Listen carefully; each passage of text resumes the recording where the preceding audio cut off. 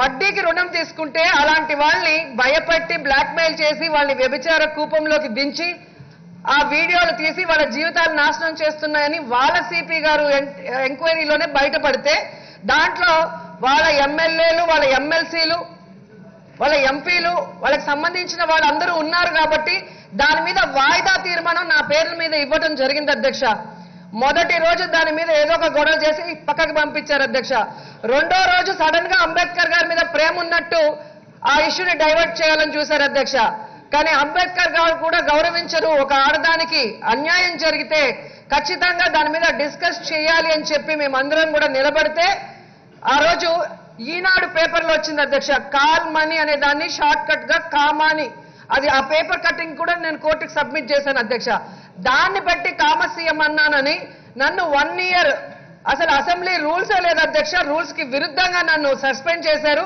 నేను హైకోర్టుకు వెళ్ళి ఇంట్రీమ్ ఆర్డర్ తీసుకొని వస్తే ఆ ఎంట్రీ ఆర్డర్ తీసుకొచ్చి లోపలికి రావాలి అంటే నన్ను లోపలికి రానియకుండా అప్పుడున్న మార్షల్ ఆపటం జరిగింది అధ్యక్ష. అది ఎలా ఆపుతారు? హైకోర్టు ఇంట్రీమ్ ఆర్డర్ ఇచ్చిన తర్వాత అని ప్రతిపక్ష నాయకుడు జగన్మోహన్ రెడ్డి గారు ఆ రోజు నాకు అండగా అంటే మహిళా శాసనసభ్యురాలకు అన్యాయం జరుగుతుందని అండగా బయట కూర్చుంటే స్పీకర్ కాదు కదా కనీసం సెక్రటరీ కూడా వచ్చి సమాధానం చెప్పకుండా జగన్మోహన్ రెడ్డి గారిని మమ్మల్ని అవమానించడమే కాకుండా జగన్మోహన్ రెడ్డి గారు దీని గురించి మాట్లాడడానికి అసెంబ్లీలోకి రాగానే నన్ను ఒక ఏమంటారు అధ్యక్ష ఒక మనిషిలాగా కాదు ఒక జంతువులాగా నన్ను ఏ విధంగా మార్షల్స్ లాక్కెళ్ళి ఆ కార్లో వేసి ఆ రోజు నాకు చేతులు కాళ్ళు దెబ్బలు తగిలి ఎలా బ్లడ్ వచ్చిందో కూడా వీడియో క్లిప్పింగ్ ఉంది అధ్యక్ష. మీరు కావాలంటే అది ఒకసారి చూస్తే వీళ్ళు మాట్లాడే మాటలకి అర్థమవుతుంది అధ్యక్ష. ఎందుకంటే అంత ఘోరంగా వీళ్ళు చేశారు అధ్యక్ష. ఈ రోజు చాలా గట్టి గట్టిగా అరుస్తున్నారు చంద్రబాబు నాయుడు. గట్టిగా అరిస్తే గడ్డి పరక గర్జించే సింహం కాదన్న విషయం చంద్రబాబు నాయుడు గుర్తు పెట్టుకోవాలి అధ్యక్ష. ఎందుకంటే ఇదే అసెంబ్లీలో బోండా ఉమా మిమ్మల్ని అందరినీ ఇక్కడే పాతి పడతానన్నాడు అధ్యక్ష.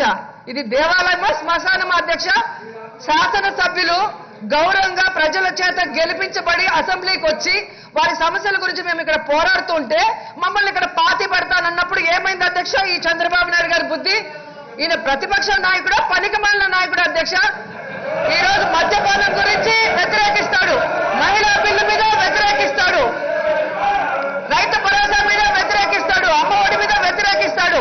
ప్రజలకి మంచి చేస్తుంటే ఎంతసేపు వ్యతిరేకించడం తప్ప ఏదైనా ప్రజలకు ఉపయోగపడి పని చేస్తే జగన్ గారిని అభినందించకపోయినా పర్వాలేదు కానీ మమ్మల్ని విమర్శించడానికి మీకు అర్హత లేదని కూడా ఈ సందర్భంగా తెలియజేసుకుంటూ నిన్న కూడా అధ్యక్ష ఏదో మగధీరాలో డైలాగ్ రాగా ఒక్క ఒక్కొక్కరు కాదు షేర్ ఖాన్ వంద మంది రండి అన్నట్టుగా నూట యాభై ఒక్క మంది రండి నేను సమాధానం చెప్తానంటాడు అధ్యక్ష. ఏంటి అధ్యక్ష? ఒక ప్రతిపక్ష నాయకుల్లాగా మాట్లాడుతున్నాడు అధ్యక్ష. వయసు మీద పడే గుర్తికి అతనికి చాదస్తం ఎక్కువైపోయింది. ఖచ్చితంగా ఆయన్ని హాస్పిటల్లో చూపించాలి ట్రీట్మెంట్ ఇవ్వాలి అధ్యక్ష. లేకపోతే చాలా ఇబ్బంది పడాల్సిన అవసరం ఉంటుంది అధ్యక్ష.